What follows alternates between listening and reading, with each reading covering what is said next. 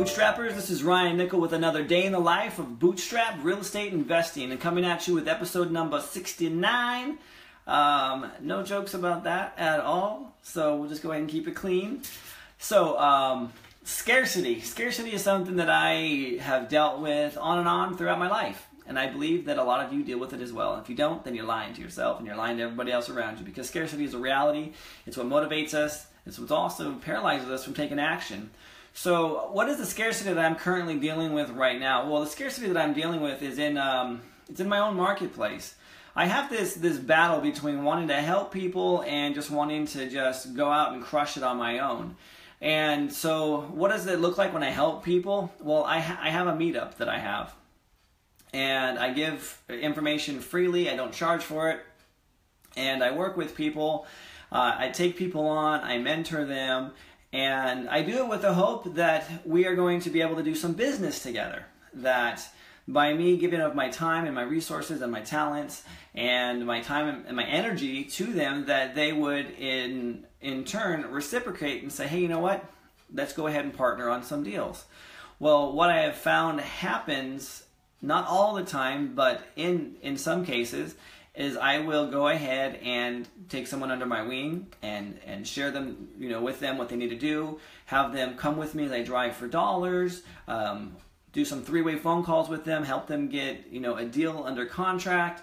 And then with the with the expectation and anticipation that they would then partner that that deal with me. Well, that's not always the case. There are some times where they will go over here and go partner with somebody else and when that happens, it makes me want to work on this side of the fence. That I just want to just go ahead and close up and say, screw you all. I don't need to be helping you all because I'm only creating competition for myself in my own local market. Uh, especially when I teach exactly what's working and what I'm doing. And so it's this battle that I have going back and forth. Do I want to help people? Um, and and or do I charge them so that I can justify helping them if they're not going to partner with me? Because it really pisses me off when I will have someone say, hey, you know what? Yeah, I should have brought this deal to you, but I didn't. Hey, what's up, Bobby? Uh, I decided to go somewhere else. You know, this other guy was going to pay me a little bit more money. Well, how did you get that deal in the first place? Who was it? Who was it that that showed you what to do? Who was it that held your hand? And so that you know that that shit just pisses me off when I, when that when that when that shit happens. And so, you know, whenever that ha- I've told my wife multiple, multiple times, I'm like, you know what? I am just ready to shut down my um, my meetup. I'm done. I'm tired. And every time I come back, I'm like, oh, I'm so glad I didn't do it. And she's like, why? Like, for example, last month um, at my meetup, I had this lady, she's like, you know what? I partnered with Ryan. He put $15,000 into my pocket, and I love working with him. If you're not working with him, he's the best person you should be working with. And I'm like, oh, you know, maybe I should keep keep on doing this. Because I mean, I made some money on that as well. It was a great great opportunity for both of us to come together. But then I get a phone call from this guy. He's like, hey, sorry, man probably should have sent, sent this deal to you, but hey, it is what it is. It didn't work out that way. I'm like, great. Well, how about the next one? You know, I understand that sometimes it just doesn't work out. Totally cool. Totally fine. I understand that. So then he calls me on the next one. He's like, hey, how about this deal? He's like, but it's like, it's not, hey, hey, Ryan, let's partner on this deal. It's like, hey, Ryan, what would you do in this situation?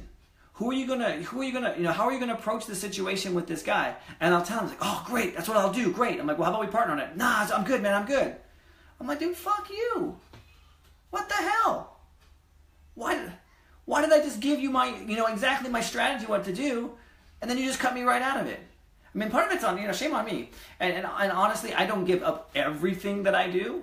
So I've learned with this particular person in general, I'm like, yeah, I got a strategy for that. Get it under contract and we'll go ahead and work on it. Well, how am I going to get under contract? Figure it out. Once you get the contract, let me know. If you don't want to, I'll get it under contract and I'll just pay you a referral fee. So I've learned that I need to cut these people out that are like that. But still, it's the scarcity. It's like, do I want to continue mentoring these people? And I say these people loosely because, yeah, some of them do turn into partnerships and we turn into deals. Or do I just want to go out on my own? Just like, you know what? Say, I'm out of here and just go right here and just work my own magic, make my own money, and the people that, that are struggling in my own, you know, backyard, to hell with you. And and this is what, you know, what really triggered me was was conversation I had yesterday. This individual was like, hey, um, how do I get started? And I'm like, this is exactly what I'm doing. I'm going after pre foreclosures. I'm looking for the vacant ones, and I'm talking to the neighbors, and I'm figuring out, you know, who I need to call. And I'm thinking, great, I can do this, and it'll shorten my my time frame. You know, they'll bring me some deals, we'll partner on them, and we'll make some money together. And um, if not, I can just go drive the neighborhoods myself. It's not that hard. I can knock on some doors. I've that's how I've been picking up my own deals in my own backyard. I'm thinking this is the way that I can go ahead and expand and help somebody in the process, and you know get paid, and they get paid, and then we have a great partnership. So yesterday we I did some three way calls with them, and we found a few a, few deals. Um, and I said, great, you know. She's like, what's my next step? What do I have to do next? Uh, we're actually going to meet this person on on Saturday. We're going to meet one of them at their at their house. Um, I had a phone call later that afternoon with the other person. Um, so we found out of the, out of the we were only able to call three people at that in our in that chunk of time. It took us an hour to get to get a hold of three people. We called many more than that, but we got a hold of three people. One of them said, "Nope, absolutely not." Um, the other one said, "Yeah, I'll be there on Saturday if you want to come meet with me." And the other one says, "Call me later that afternoon." So after we hung up the phone, she's like, "What's my next step?" And I said, "Well, this is what it looks like. We are going to we're going to partner on it." I said, "We're going to do three deals together. It's going to be an uh, an I do, we do, you do. And the way that it works is the first one, I'm, I'm doing everything. You're watching over my shoulder, you're seeing how I do, and you're asking questions. The second one, we're going to be doing it together. I'm going to making sure that you understand the process. The third one, it's all on you, but I'm right behind you over your shoulder, kind of holding your hand and guiding you so that when you do your fourth one, you're on your own. You can do it. You can feel confident that you know what you're doing. And so the split is this. For the first deal, because I'm doing everything and I'm training you and I'm not asking you to pay any money up front, I want 75% of whatever, whatever profit there is. So whatever we collect, whatever there is, I want 75% of it and I'll give you 25%. The second one is going to be 50-50, and again, the second one's going to be 50-50 as well. I said I think that's, that's a fair compensation for my time and my effort that we're, that we're doing this her response, and now mind you, this is after I showed her exactly how to find the deals, where I'm looking, how to do it, how to contact and talk to certain certain sellers. So this is about uh, about two and a half weeks of, of you know pretty intense work. We've probably spent maybe I want to say maybe about four hours, possibly five hours together as far as it. And so her comment to me was like, "Oh, okay, all right, seventy five percent, okay." Um, yeah, yeah, I think I'm gonna, I think I'm gonna do this on my own. I think I'm gonna go at it myself. I think I got it right now. Yeah, yeah, I'm good, thanks. Fuck you. What the hell? Five hours of my time. Five damn hours of my time. And so, yeah, the scarcity comes inside. Yeah, I get, yeah, I get, I get pissed off, and I'm thinking to myself, what the hell? And and and yeah, I know I'm ranting here, but the reality of it is, is I want to help people, but at the same time, I don't want to help people if they're going to be like that. And so I'm struggling, and this is this is you know this this is what happens when you grow your business.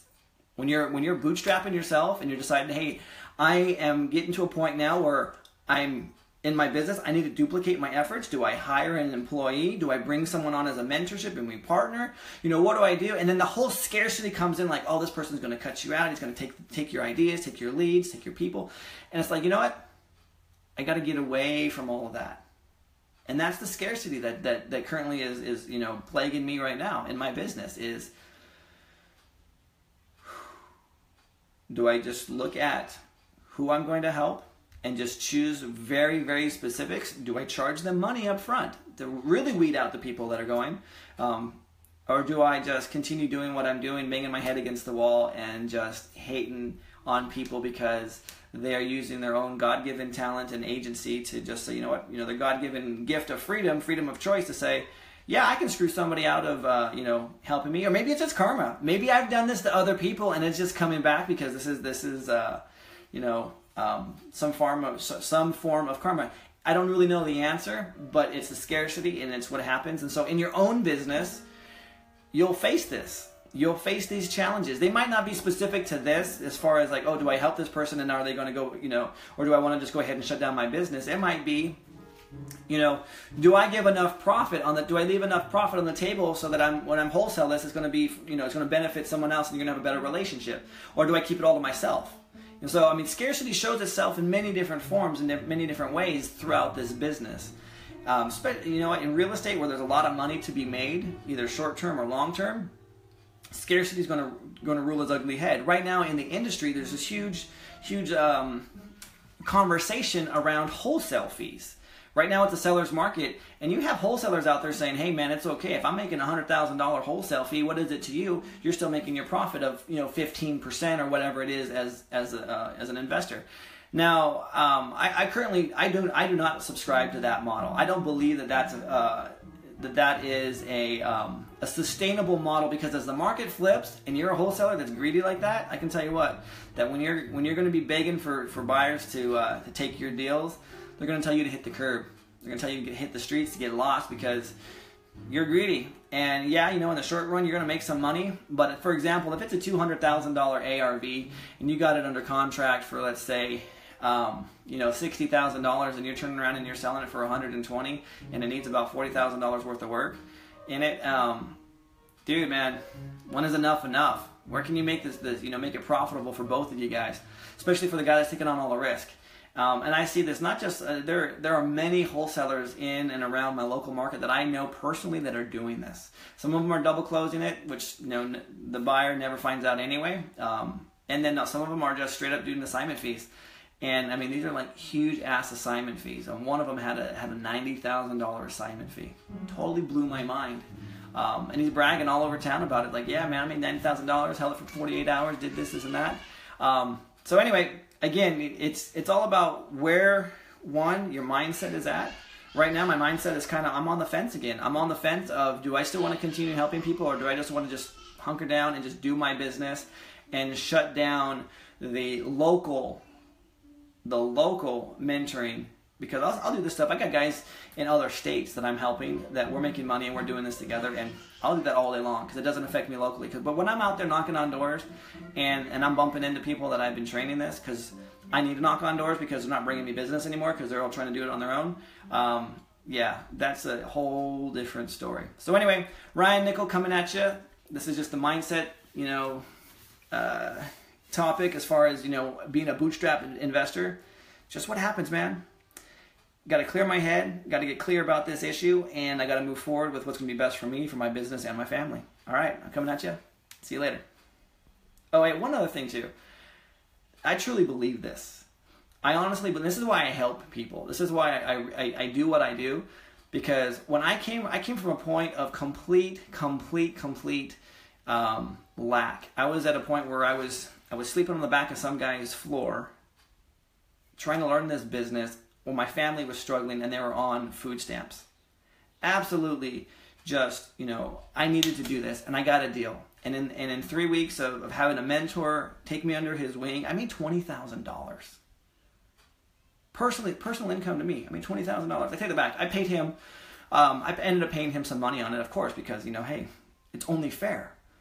But I did all of the work and, and this, and so for me, it was, it was, it was, it was beautiful, man. And, and that's why I do what I do because I know where I came from. And uh, you're right, dude. You're right, Bobby. And she already has. she already me. She's like, hey, I talked to this person. What do I do in this situation? I'm like, I don't know. You're going to have to figure it out. Um, if we partnered on it, I'd gladly help you, but uh, it doesn't look like we're going to be partnering on it. Okay, fine. All right. I'm just trying to work this through. You know, I just want to learn this business. And if you don't want to help, that's fine. I'm like, yeah, I don't. If I'm not going to be paid for it, I'll, if you want to pay me, I'll help you. If you want to partner with me, I'll help you. If you want me to give you of my time freely, I'm not going to help you. So yeah, man. I didn't even have to give it a week. I gave it less than 15 minutes, and she was calling me back. but still, it wasn't because she wanted she wanted to do any any any partnership on it.